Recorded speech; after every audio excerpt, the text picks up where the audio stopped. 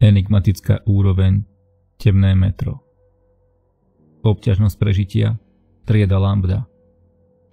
Nebezpečné a neisté. Neustále ľudské nepriateľstvo. Prítomnosť nepriateľských vnímajúcich entít.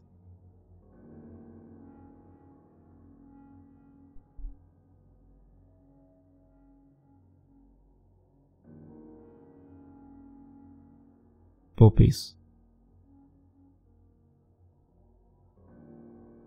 Temné metro je staré priemyselné mesto uviaznuté v permanentnej noci. Temné metro je špeciálna úroveň, ktorú väčšina neoficiálne považuje za opačnú úroveň. Podobnú úrovni osmietenia a zatemnenia. Kvôli jej spojeniu s tajomnou úrovňou podobného mena – metro. Úrovne zdieľajú rôzne paralely a opačné rysy. Najvietelnejšie z nich je, že metro je plné svetiel a temné metro je hranične čierno-čierne. Navyše metro je vo vnútri a temné metro je vonku. Obe úrovne sú tiež domovom silne nepochopených entít s anomálnymi schopnosťami. Najsilnejším dôkazom tejto teórie je, že nemožno vstúpiť do temného metra bez toho, aby ste predtým boli v metre. V zázname DM003 sú niektoré ďalšie podrobnosti, týkajúce sa týchto paralel. Spôsob vstupu do temného metra je silne diskutovaný kvôli nekonzistentnosti účtov, ale jeden opakujúci sa detail medzi nimi je, že sa to vždy deje cez úroveň metra.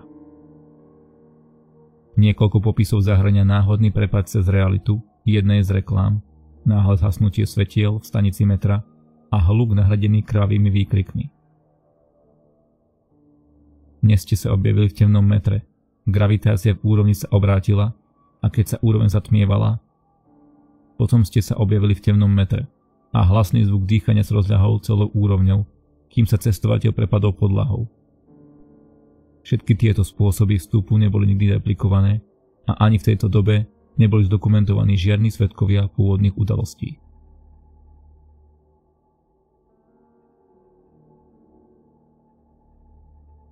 Podpredseda Thomas Dvern verí, že to bolo úmyselné zo strany entity temného metra, aby získali viac obetí pre rituály. Mnoho z nich tiež uviedlo, že počas smeny počuje zvuky tlkotu srdca. Samotná úroveň nadobúda vzhľad malé predmestskej oblasti, zdanlivo postavené na začiatku 18. storočia, napriek tomu stále relatívne moderná. Úroveň nebola dôkladne preskúmaná kvôli hraničnej úplnej absencii svetla, nepriateľským obyvateľom úrovne a nepredvídateľnému spôsobu vstupu. Napriek tomu bolo úspešne vykonané niekoľko výskumných misií a všetky známe informácie pochádzajú zo živých kamier a komentárov spomínaných výskumníkov. Informácie ako veľkosť úrovne, populácia, objekty, prítomnosť entity a stabilita reality sú buď neznáme, alebo sa môžu kedykoľvek a bez väčšieho upozornenia zmeniť.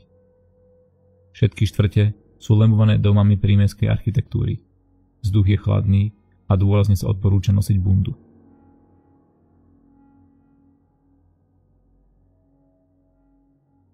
Členovia, ktorí vykonávali prieskum, uvádzali podľa skúseností neurčité odhady minus 1 až 10 stupňov Celzia, ale zatiaľ nie je nič potvrdené. Cesty a chodníky sú často popraskané a hrboľaté. Niekedy sú na nich dokonca rozházané predmety, ako šrot alebo uvoľnené drôty. Pozoruhodným rysom je, že nikde nie sú prítomné žiadne zdroje jasného svetla. Žiadne pouličné osvetlenie, žiadne svetlo vyšarované z domov, s výnimkou červených sviečok, ktoré lemujú každý dom. Existuje jedna výnimka. Veľké červené pouličné osvetlenie, ktoré svieti priamo na železničné trate, ktoré sú podrobnejšie popísané v sekcii železnice. V prospech HES boli agenti, ktorým sa podarilo vstúpiť na tajomnú úroveň schopný odpočúvať uvoľnené kúsky informácií. Najpozoruhodnejší z týchto informácií bol objav s názvom Centrálne námestie, čo je názov veľkého parkoviska malým nákupným centrom, z ktorých žiadny nie je nikdy otvorený ani osvetlený. Pre každého, kto navštívi úroveň, je táto oblasť neuveriteľne nebezpečná kvôli množstvu ľudí, ktorí tam sú takmer po celú dobu. Pre obyvateľov je to miesto, kde väčšina ľudí komunikuje, obchoduje a vykonáva komunitné aktivity. Centrálne námestie je tiež miestom, kde sa konajú neslávne známe obetné obrady tejto úrovne. Každé 3 dni sa v hornej časti hlavnej budovy rozozvučia dva veľké karmínové zvony, ktoré označujú, že temné metro je na ceste. Hluk hlasného vlaku sa počas tejto doby ozýva po celej úrovni. Obyvatelia úrovne sa zhromažďujú na námestí, aby vykonali obrad, kde mu niekoho obetujú. Zdá sa, že ho pokorne uctievajú ako svoj druh božstva a vykonávajú obete, aby ho nasítili. Dôkazy obradov boli prvýkrát objavené, keď bol po prvom objavení nájdený voľný, krvou postriekaný kus papiera v poštovej schránke domu blízko parkoviska na námestí. Tento papier je pripojený nižšie v časti doplnkovej dokumenty. Samotné štvrte môžu niekedy obsahovať rôzne veľné predmety, pretože mnoho domov je obývaných obyvateľmi úrovne. Autá je niekedy možné nájsť ale zvyčajne vypadne vyžadujú štartovanie za pomoci prestrihnutia káblov, aby fungovali. Svetlomety aut sú vždy nefunkčné alebo rozbité. Pokus vstúpiť do domov takmer vždy vyústi do zachytenia a premiestnenia na centrálne námestie. Cesty sú obvykle popraskané a niekedy dokonca posiaté prepadmi. Najvyššie je veľa trávy na určitých miestach buď mŕtvej alebo vytrhanej zo zeme, skoro ako by po ne prechádzalo vozidlo. Odporúča sa používať baterky a svetelné zdroje čo najšetrnejšie, pretože svetlo by mohlo pritiahnuť pozornosť nepriateľských obyvateľov. Bolo zdokumentované, že stromy sú podobné tým na úrovni 129. Vysoké, drsné, páchnúce po drevenom úhli a niekedy vo vnútri mŕtve. Rozbité pouličné osvetlenie a elektrické vedenia vytvárajú tichý hukot elektriny, ktorý je počuť po celej úrovni, okrem doby, keď dorazí temné metro aby to všetko prehlušilo. Občas je možné v okolí počuť vzdialené zvuky dýchania, ale to je pomerne vzácne. Napriek tomu nebol zdokumentovaný žiadny život na úrovni mimo ľudských obyvateľov. Jedinečných entít a temného metra, ale štúdie stále prebiehajú.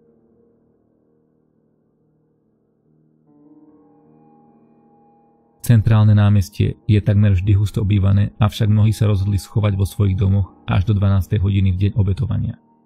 Počas tejto doby bude mať centrálne námestie najmenší počet ľudí. Odporúča sa, že pokiaľ má človek preskúmať túto oblasť, mal by to urobiť práve vtedy.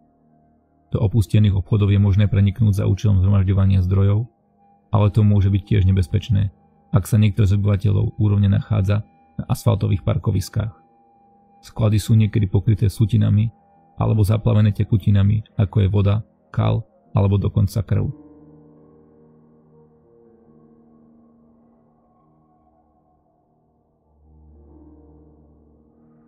O slávnom pánovi moci a temnoty a o službe najväčšiemu spasiteľovi, akého sme si mohli prijať. Predpokladá sa, že nápisy odkazujú na temné metro, Samotná katedrála má rôzne lavice a kráľovské koberce s kazateľnicou v samom strede. Tu sa odohrávajú obetné rituály. Všade možno nájsť ďalšie typické cirkevné predmety, ako sú lavice, rôzne náboženské texty, ako je Biblia a Korán, písacie potreby a spevníky v latinčine. Veľa týchto predmetov, najmä tých pri kazateľnici, je postriekaných krvou. Na kazateľnici sú tiež hrateľné kostolné orgány s pripojenými píšťalami, ktoré obklopujú katedrálu, ale hrať sa na ne samozrejme neodporúča, pretože by to priťahovalo pozornosť kvôli hluku. V katedrále môžu niekedy ľudia sedieť v laviciach, pravdepodobne sa modlia alebo meditujú, ale častejšie je bez ľudí. Na vrchole katedrály je sada dvoch kostolných zvonov, ktoré sú sfarbené do karmínovo-červenej farby. Zvony sú vidieť s výhľadom na celú štvrť a možno ich vidieť zblízka ak vyleziete na vonkajšiu stranu hlavnej budovy, čo sa jednému agentovi podarilo. Tieto zvony hlasno zvonia a rozochvievajú po celej úrovni každé 3 dni. Zvony zazvonia 3 krát každú hodinu a 12 krát počas dňa s nízkym zlovesným tónom D.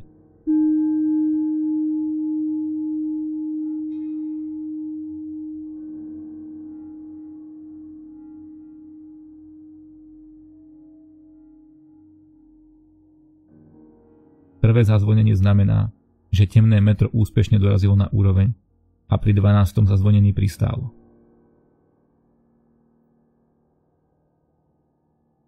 Je bezpodmienečne nutné, aby každý pútnik, ktorý skončí na úrovni, udržiaval svoju prítomnosť neznámu pre obyvateľstvo, inak bude jeho život vo vážnom nebezpečenstve. Každá osoba, ktorá je v úrovni a ktorá nie je z nej, bude následne odvedená do hlavnej budovy tým, kto ju nájde. Presný proces toho, čo sa deje počas tejto doby, je založený výhradne na záberoch živej kamery, ktoré boli vysielané na základňu Gamma na úrovni 3 počas niekoľkých prieskumných misí, ku ktorým došlo. Zdá sa, že cestovateľ bol vlečený proti jeho vôli až do hlavnej budovy. Pokusy o útek povedú k naháňačke, ktorá sa nezastaví, kým nie je obeď chytená. Po príchode do hlavnej budovy bude otiahnutá do hlavnej uličky. Čo sa stane potom, je väčšinou neznáme kvôli nedostatku jasných úhlov videa. Ale jedným konzistentným detailom je, že to povedie k vyvolaniu troch entít známych pre HAS ako temný kňaz a tiene. V tejto chvíli sa zdajú byť jediným známym pravdepodobným neludským životom na úrovni. V časti doplnkové dokumenty je pripojený protokol, ktorý podrobnejšie popisuje registráciu kňaza. Zvony údajne nie sú vyrobené z ortodoxného bronzu, z ktorého sú vyrobené bežné zvony, ale sú zložené z karmínovo-červeného kovového materiálu. Vzhľadom na predtým spomínanú nemožnosť vstúpiť zámerne, neboli v súčasnej dobe možné žiadne oficiálne vzorové štúdie – Člen HAES, ktorý snímok vytvoril, však dokázal odovzdať niekoľko všeobecných popisov. Kov popísal ako studený, drsný a matne červený. Popísal to ako pocit neuveriteľne podobný bronzu, ktorý obvykle tvoria zvony, ale s veľmi malými rozdielmi. Navyše nie je známe, ako samotné zvony zvonia. V tejto chvíli nie sú zdokumentované žiadne povrázky ani lana a zdá sa, že zvony sa pohybujú sami až príde čas.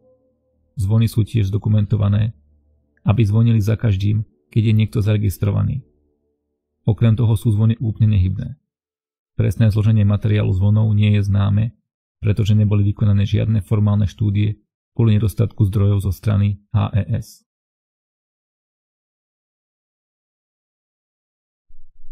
Železnica Železnica je jednou z najviac nepokojujúcich oblastí tejto úrovne. Prejsť do tejto oblasti úrovne v ktoromkoľvek bode nie je úkon, ktorý by ste mali brať na ľahkú váhu. Členovia HES, ktorí úroveň preskúmali, hlásili, že počuli zvuky šepkania, tlkot srdca, dýchanie a zvuky vlaku.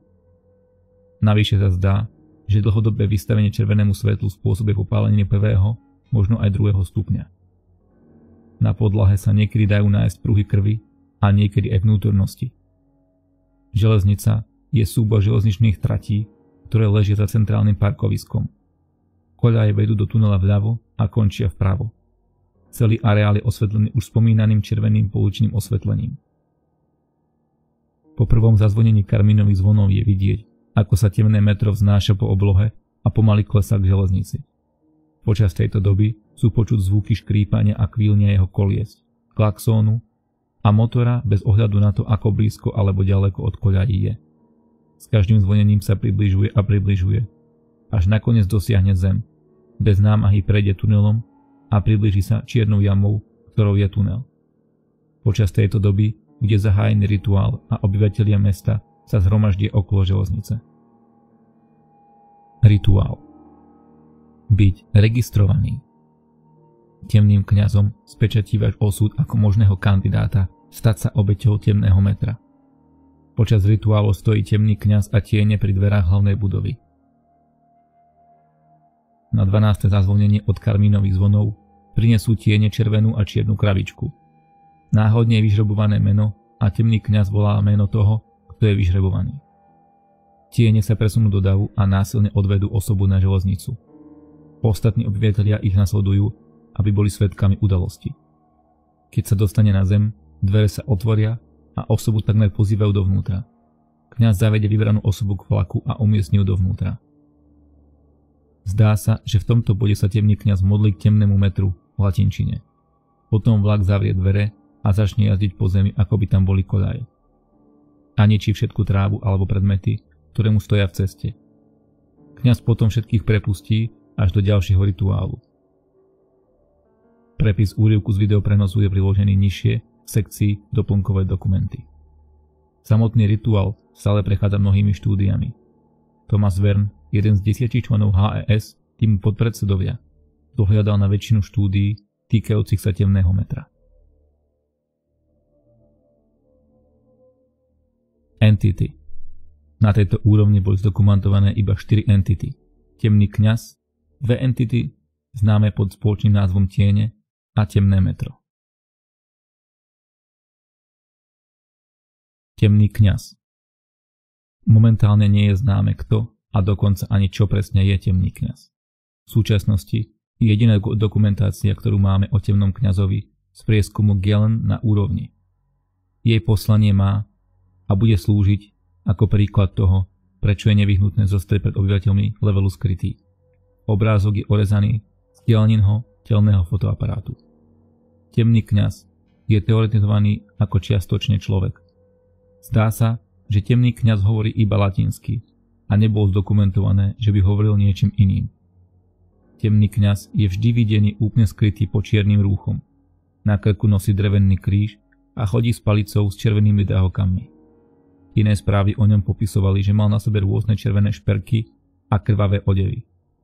Kvôli nedostatku výrazného svetla v úrovni sa jeho tvár nikdy nefotila. Temný kňaz je pravdepodobne jediná bytosť, ktorá je v priamej komunikácii s entitou, temné metro. Zdá sa, že s ňou dokáže komunikovať a pôsobiť ako sprostredkovateľ medzi ňou a obyvateľmi mesta. Je známy tým, že organizuje obete, ktoré sa konajú každé 3 dni tak, že v meste uchováva tabuľku každého mena. Nikdy ho nevidno mimo hlavnej budovy, samozrejme s výnimkou obetných rituálov. Obyvatelia mesta sa boja aj zmienky o jeho mene. Gelen sa po odhalení pokusil spýtať sa na neho jedného z mešťanov, no tí o ňom zo strachu odmietli hovoriť. Keď sa objaví v hlavnej budove, stúpi tak, že prejde cez stenu, alebo sa to aspoň zdá. Odkiaľ presne pochádza nie je známe, pretože súčasné chápanie skupiny HES prepadu cez úroveň na rovnakej úrovni by znamenalo, že by musel pochádzať zo zadnej steny vonku. Napriek tomu ho nikdy nevideli prichádzať od nikiaľ, len z kostola. Thomas teoretizoval o možnosti tajnej miestnosti alebo nadprirodzených schopnostiach. Vždy je v spoločnosti entít známych ako tiene. Tiene Tiene sú dve entity, ktoré podľa všetkého sprevádzajú temného kňaza. Na rozdiel od neho tiene nie sú ľudské. Majú humanoidnú formu, ale nemajú žiadne viditeľné časti tela. Čierne tiene, odtiaľ názov, sa objavujú tam, kde by mali byť ich tváre a ruky. Ich obrázok bol tiež orezaný do záberov z Gelninho telného fotoaparátu, keď stáli na kazateľnici hlavnej budovy, potom, čo sa podvolila, aby zostala na mieste. Tiene nikdy nehovoria, dokonca sa ani veľmi často nepohybujú. Vidieť ich len v prítomnosti temného kňaza. Takmer vždy stoja nehybne a ticho. Obaja majú na sebe rovnaké oblečenie. Sivú vestu, cez modrú košeľu, dlhú kravatu zastrčenú do vesty, čierne kaky nohavice a čierne spoločenské topánky s koženou fedorou cez hlavu. Ich presná výška bola odhadnutá na približne 182 cm každého na základe analýzy videa, meraní pixelov a merateľných referenčných bodov kontroly. Vern predpokladá, že tiene fungujú ako fyzickí asistenti temného kňaza. Zatiaľ čo kňaz oznamuje vôľu temného metra obyvateľom mesta, tiene podľa nej konajú. Zdokumentované príklady, ktoré podporujú túto teóriu, zahraňajú. Tiene sú tí, ktorí počas rituálu umiestňujú obe do temného metra. Hľadajú a zabíjajú každého, kto sa neobjaví pri rituáloch a obmedzujú nov objavených ľudí, ktorí vstúpili na úroveň. Iba dve z týchto entít boli kedy videné naraz, ale verne otvorený teórii, že ich môže byť veľa.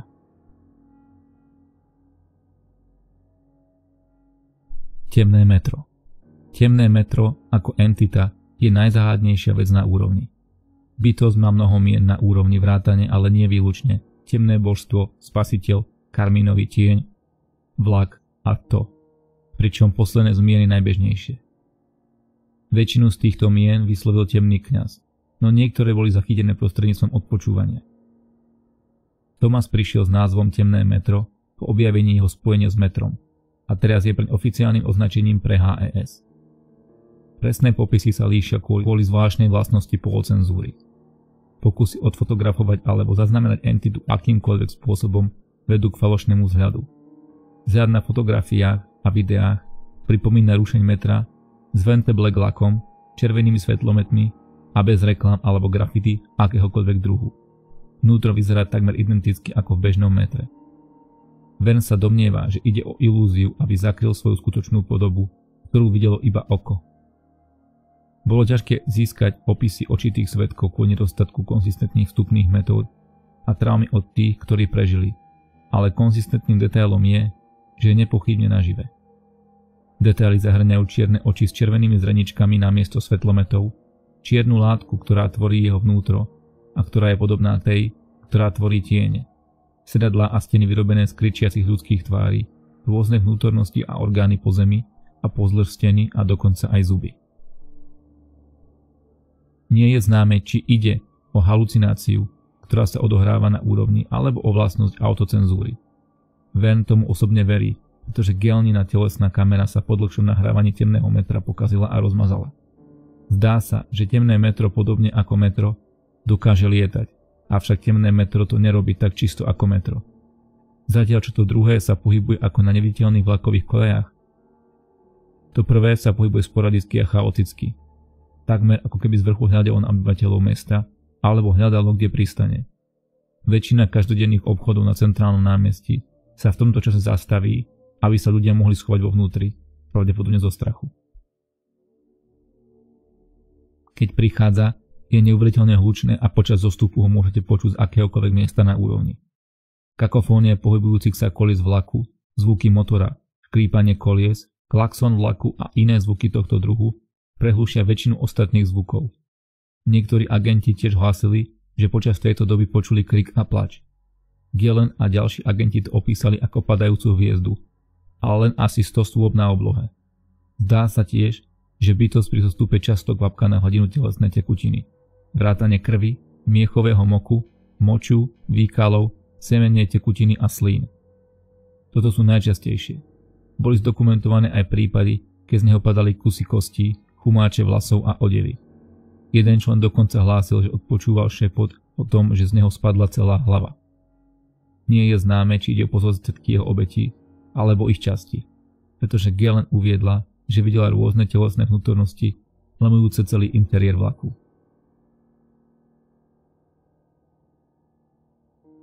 Mešťania Zdá sa, že mešťania bývajú v domoch štvrtí, ktoré majú zatiaľ neidentifikovateľné číslo. Zriedka ich vidno mimo svojich domov, pokiaľ nie sú na centrálnom námestí. Keď sú tam, Mnohí z nich sa zúčastňujú obchodovania a miešania sa na parkoviskách na námestí. Iní sa rozhodnú sedieť v lavice hlavnej budovy, pravdepodobne sa modlia k temnému metru alebo inému božstvu za spásu. Počet obyvateľov mesta nie je známy kvôli už spomínanej nedostatočnej schopnosti vykonať sčítanie. Mešťania sú neuveriteľne nepriateľskí, ak vás ešte nezaregistroval temný kňaz a urobia všetko potrebné, aby vás dostali do hlavnej budovy. Pozoruhodné zdokumentované príklady zahraňajú 5 hodín a 37 minút prenasledovania po susedstve pred prípadným zajatím. Kritické zlomeniny kolín a chodidiel kladivami na znehybnenie obete, pálenie nôh zapáľovačom a pripútanie osoby ku kapote naštartovaného auta a odvoz na centrálne námestie. Medzi ďalšie príklad neúspešných pokusov patrilo naháňanie trvajúce 9 hodín a 54 minút, ktoré zahraňalo použitie pascí na medvede, policajných psov, jám pre barmských tigrov svetlizových pascí a dokonca ľudské siete. Vysokorýchlostné naháňanie aut cez dvory a susedné cesty. To skončilo zlyhaním mešťanovho auta na poslednú chvíľu v dôsledku zlého horúceho zapojenia a demolácia budovy holými rukami, odhadom 128 ľudí, aby obed dostali zo strechy domu. Ak je cieľ zajatý, mešťania sa stanú pasívnymi, ale ešte neboli otvorení žiadnemu druhu formálnych rozhovorov, obchodovania alebo poskytovania prístrešia. Iba jeden rezident kedy súhlasil s formálnym pohovorom, ktorý je priložený v doplnkových dokumentoch. Ďalšie veľmi voľné informácie boli zachytené prostredníctvom odpočúvania. Ale nie žiadne veľké odhalenie alebo pozorúhodné detaily. Je na najvyš prioritou, že ak sa má človek ocitnúť na úrovni, v ktorej sa zmienuje o zajati akýmkoľvek potrebnými prostriedkami, mal by sa chrániť. To znamená, využiť všetky získané zdroje vo svoj prospech, vyhýbať sa svetlým oblastiam, skrývať sa čo najviac oblečením inteligentne využívať prostredie na získanie výhod a dokonca vraždiť, ak si to čas vyžaduje. Základne komunity a opevnenia V súčasnosti má HES snahu vytvoriť základňu na úrovni, ale kvôli nepriateľstvu mešťanov a nespoľahlivým metodám vstupu to nebude v blízkej budúcnosti. Vchody a východy Vchody Ako už bolo spomenuté, Jediná známa informácia o tom, ako vstúpiť do temného metra je, že sa to môže stať iba náhodou v metre. Iné možné spôsoby cestovania sa ukázali ako zbytočné, ako napríklad použitie úrovne 797, rituálu kráľa hôr a predovšetkým vyhľadanie si výletu sem cez samotné metro. Východy Východ z temného metra je pri najmenšom komplikovaný. Ak má niekto odísť, má najväčšiu šancu urobiť to skôr, než bude zajatý. Po zajatí sa tento spôsob opustenia stane nemožným. Jednému agentovi, ktorý spadol do úrovne menom James Clay, sa podarilo uniknúť z úrovne predením tunela, ktorým vlak v deň obetovania vchádza. Vynerol sa na úrovni 0 s ľahkými popáleninami a rôznymi zraneniami. Táto metóda bola znovu skúšaná iným pracovníkom, ktorý už bol v tom čase zachytený a namiesto úteku jeho telesná kamera náhle stratila vysielanie. Odvtedy po ňom nebolo ani vidu, ani slychu. Tento spôsob výstupu je extrémne náročný kvôli množstvu ľudí na centrálnom parkovisku, cez ktoré treba prejsť, aby ste sa dostali k železnici. Gelen bola tiež záhadne nájdená v stave psychózy na úrovni 3, ako je uvedené v denníku DM002, ale povedala, že si nepamätá, ako sa jej podarilo uniknúť. Toto je jediný zdokumentovaný prípad, keď niekto po zajatí utiekol. V súčasnosti nie je známy spôsob, ako uniknúť, ak už bol niekto zajatý, Dokonca aj metódy ako prepad cez úroveň a privolanie Entity 51 boli neúspešné. Akékoľvek informácie týkajúce sa niekoho, kto unikol z temného metra, by mali byť okamžite oznámené HES. Vern dokonca osobne ponúkol odmenu 50 kráľovských dávok pre každého, kto poskytne informácie, ktoré vedú k spodahlivému odchodu.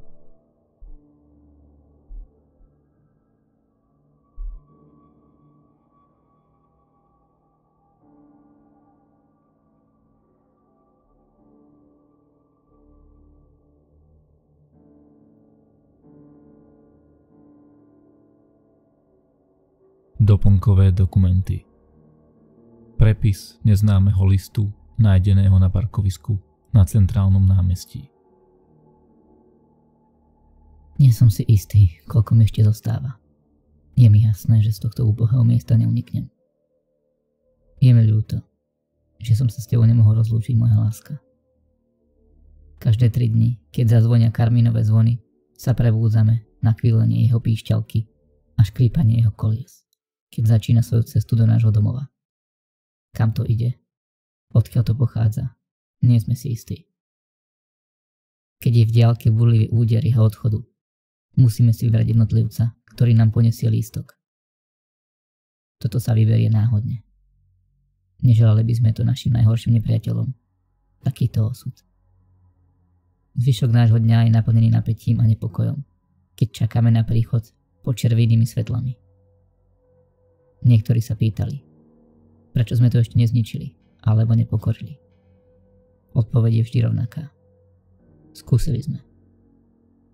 Pri západe slnka počujeme píšťalku konečne dosiahnuť svoj cieľ. Kričí po oblohe a zostupuje na nás ako aniel smrti. Po jeho pristáti sa jeho dvere otvoria. Jazdec, vybraný náhodne lotériou, vstupuje so svojím tiketom v ruke. Jeho dvere sa zatvoria a je hotovo. Nikto, koho to vezme, sa nikdy nevráti. Toto je obeď, ktorú musíme priniesť pre našu bezpečnosť, pre jeho potešenie. Toto je cyklus, ktorý musíme vydržať, pretože sa bojíme, čo sa môže inak stať. Nie som si istý, či ťa ešte niekedy uvidím, moja najmilšia. Pozrel som sa na jeho odpornú postavu. Počul som jeho ohavné srdce. Do mojej mysle to našepkovalo svoje nepriateľstvo aby zmenilo môj mozog na prach. Toto zviera nemožno poraziť a môj osud je vytesaný do kamene. Čokoľvek sa stane, nech už bude môj osud akýkoľvek. Vec, že ťa budem vždy milovať, kým budem žiť. Hasta que nos veamos de nuevo, mi amor. Kým sa znova nestretneme, moja láska. Marko.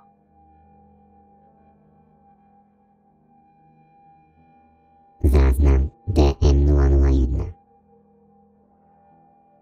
Nasledujúci úrivok dokumentuje udalosti zajatia Gelen Martinezovej a stretnutia s temným kňazom. Začiatok záznamu. Čas 2. júna 2019. Rekorder XHS podná pracovnička Gelen Martinez. Vedúci dohľad nad riadením misie podpredseda Tomas Vern. Miesto centrálne námestie v temnom metre. Si si istá, že nedokážeš odlomiť kúsok zvončeka? Možno kameňom alebo nožom? Som si istá, Tomas. Normálnu med sa takto oholiť nedá. A už vôbec niečokoľvek. Dostali, svoj, dostali ste svoje fotografie, ktoré ste chceli? Áno, môžeš ísť z budovy. Ďalej sa môžeš dostať do... Ach nie, sakra, to je zlé. Myslím, že ma vidia, Tomas. Hádžu na mňa ohnivú soľ.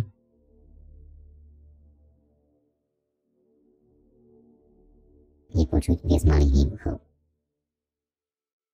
Tomas, toto nie sú hviezdne vojny. Nebudem odchyľovať kúsky ohnivej solie z rov tyčov ako nejaký rytier Jedi. Stena, za ktorou sa skrývam, začína zlyhávať. Tomas! Gelen, mám riešenie. Nebude sa ti to však páčiť. Ponáhľaj sa s tým.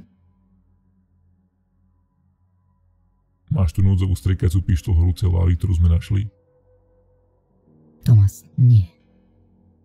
Si to buď ty, alebo oni, Gelen. Zapál jeden zo stanov a všetci z vôze utežú. Ak si chcela ísť na túto misiu, musíš robiť ťažké rozhodnutia. Keď sa ti smeť pozrie do očí, zrútiš sa, alebo sa jej postavíš tvárou v tvár. Hm. Dobre, urobím to. Pokiaľ prestaneš s tými inšpiratívnymi kecami. Dobre. Gillen vytiahne štandardnú striekacú pištolu. Vybehne spoza steny k záplave mini úchov, než vystrelí z pištole trochu rozstavenej lávy. Spadne na jeden zo stanov a okamžite ho zapáli v plameňoch, čím osvetlí celé centrálne parkovisko jasným oranžovým svetlom.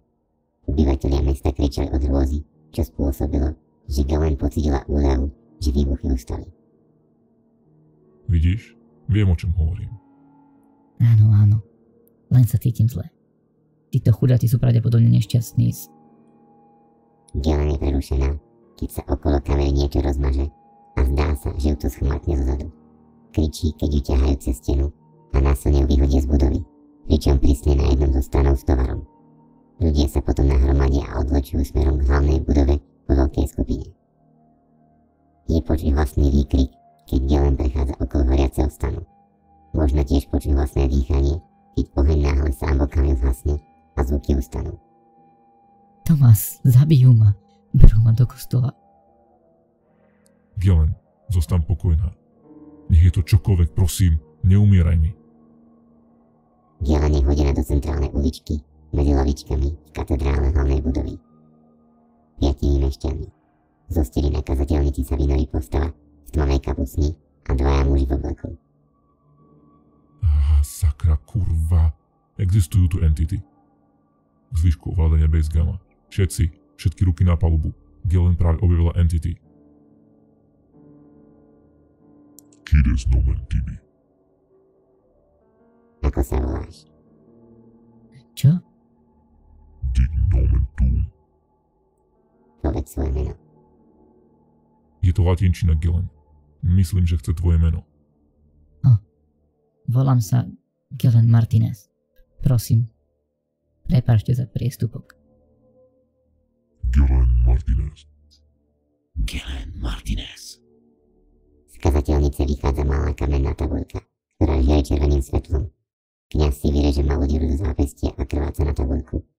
Tabuľka spadne späť do kazateľnice. Discede. Teraz odíďte. Obyvatelia mesta ju začnú ťahať von. Gelen sa odtiahne. Wow, wow, wow, wow. Urobíš dáv? Dotiahneš ma sem, vykrvácaš na kameň a to je všetko? Kto si vôbec? Gelen rozsvieti baterku. Temný kniaz si okamžite zakryje tvár a trasúci sa zvalí na zem. Začne kričať ako neludské benší.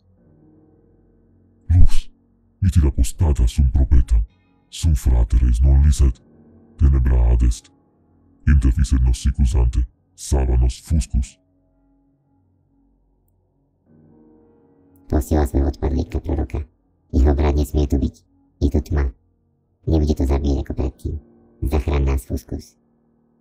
Miestnosťou sa zrazu ozývajú zvuky hlasného dýchania a búženia srdca. Celý kostol sa začne triasť, ako keby nastalo zemetrasenie, než sa Gionina baterka náhle vybije a stane sa nepoužiteľnou. Nastane chvíľa ticha, keď sa obnoví poriadok. Diferit Anobis. Odíďte od nás. Tiene náhle ožijú a zbehnú spod ľudskou rýchlosťou. Chytia Gillen a odvočujú von z budovy. Karmínové zvony raz zazvonia pred tým, ako tiene zmiznú.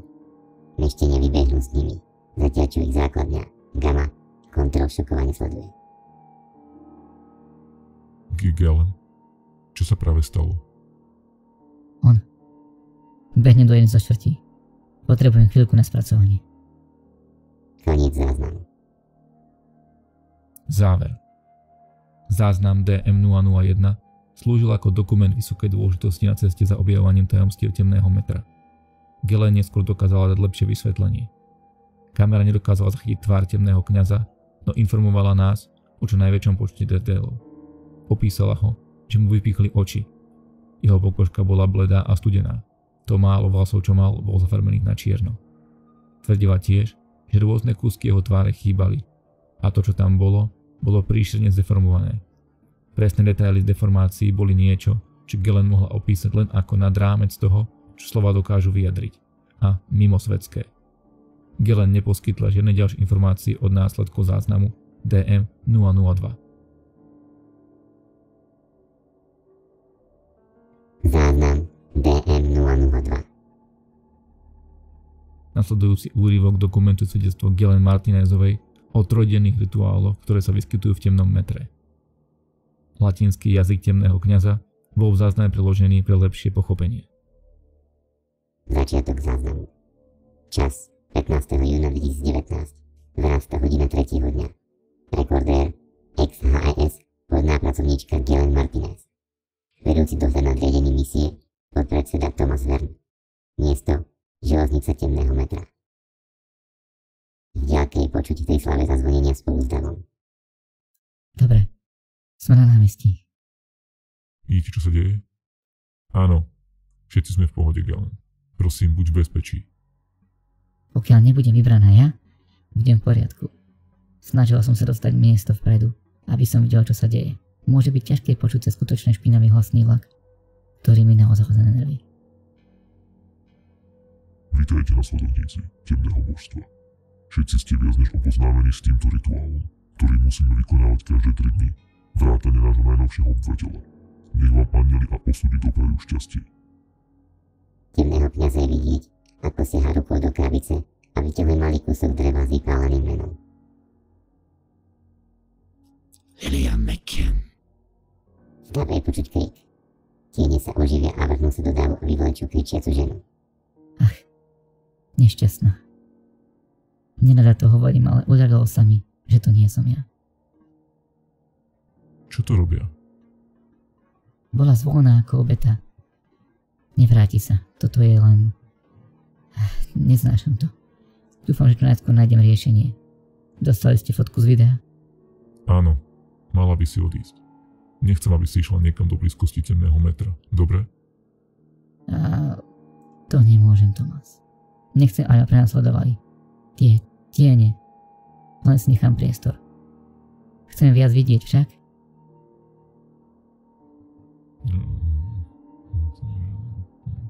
Dobre teda. Len si prosím dávaj pozor. Som v pohode. Videla som to už mnohokrát. Ale toto je prvýkrát, čo som toho bola súčasťou. Radujte sa, lebo náš mocný majster zostúpil. Buďte pokojní a pevní, priatelia temnoty. Náš deň milosrdenstva je za nami. Temné metro je počuť, ako jazdí po kolaniciach a škrípanie sa zastaví. Dnes prišiel náš svetý. Dnes prišiel náš svetý. Dnes prišiel náš svetý.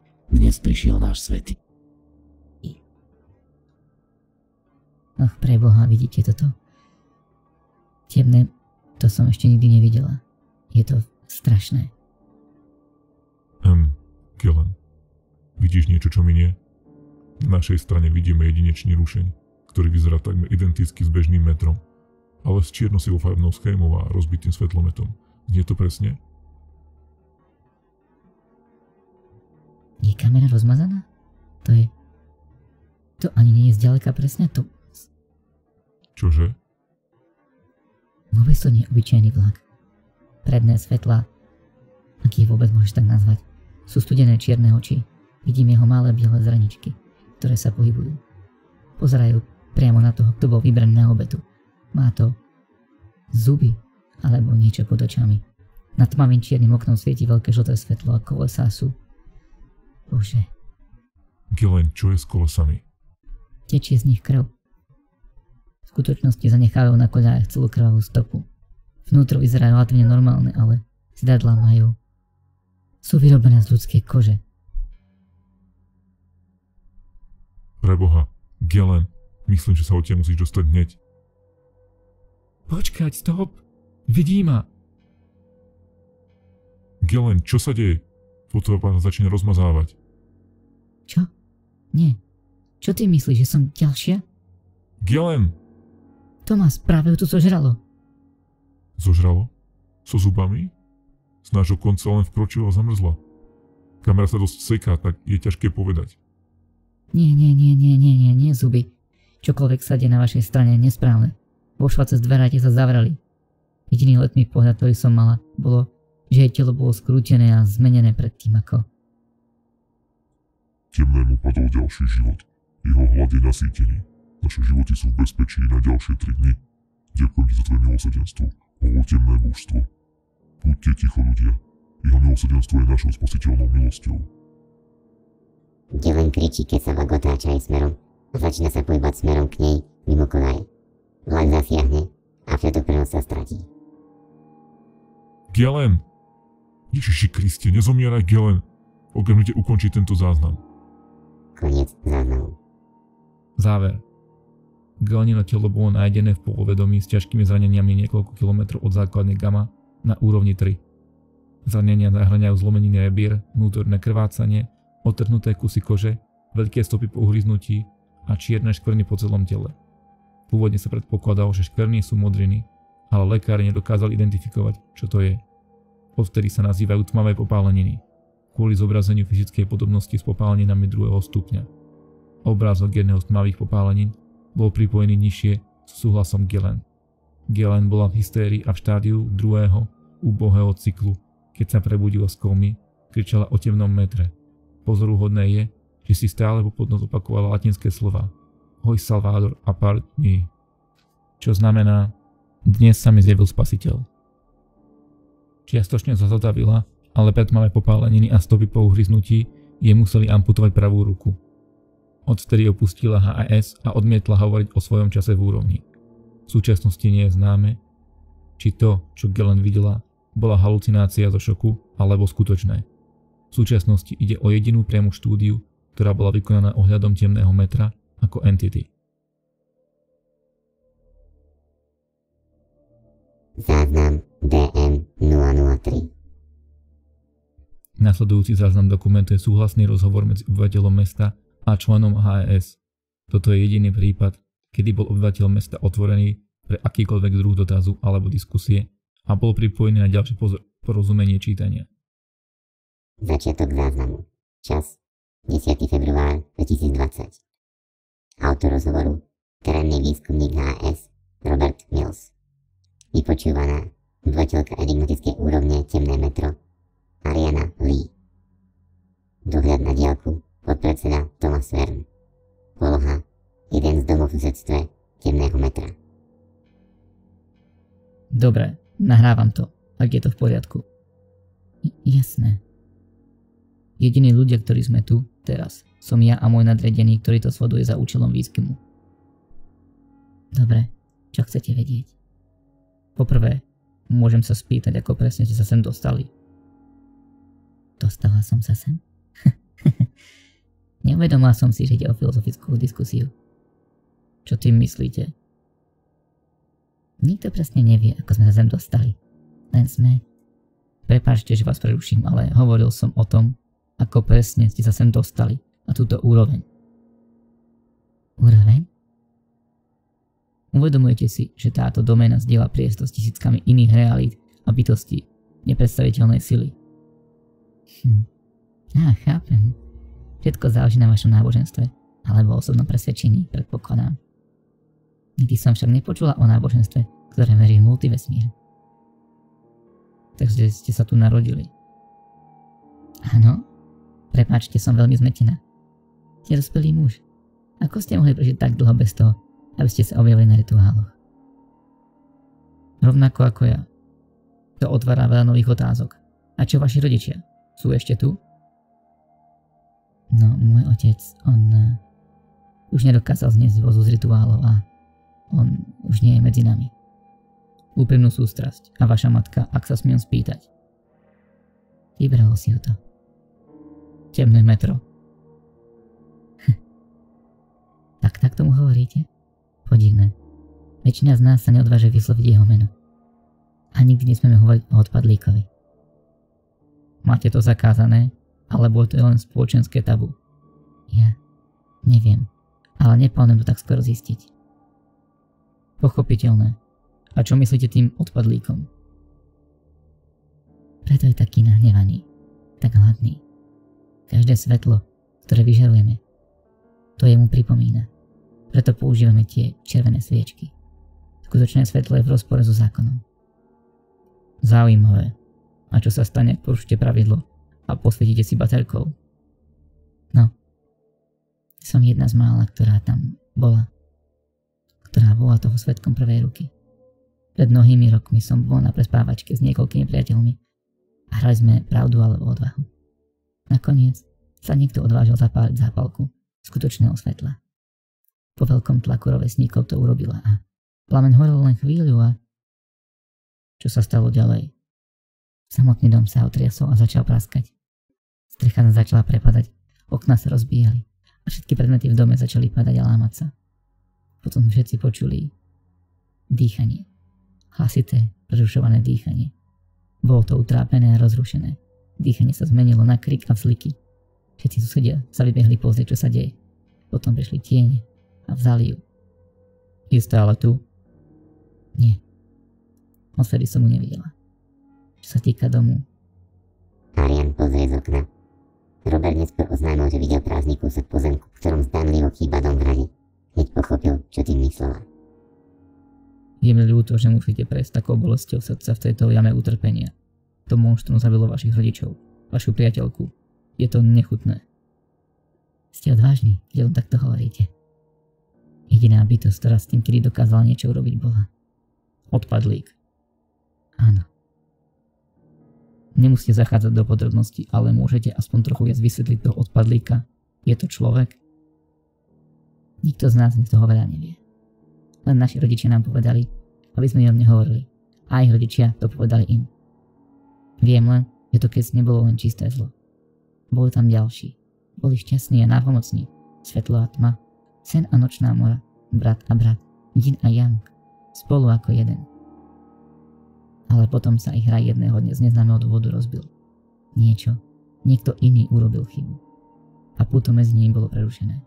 Svetlo už nechcelo mať nič spoločné s temnotou a reality boli rozdelené na dve časti.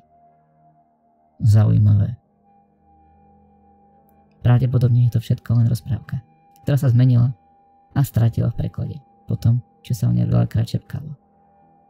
V tomto bode je to také vágne, že to môžem úprimne znamenať čokoľvek, ak je to dokonca skutočné. Nikto nevie, čo svetlo predstavuje, alebo čo sa medzi nami stalo. Časom sa na to zabudlo.